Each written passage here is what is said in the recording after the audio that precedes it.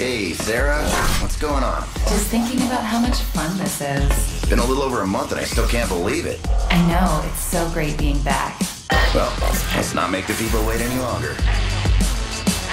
Here's Bleach.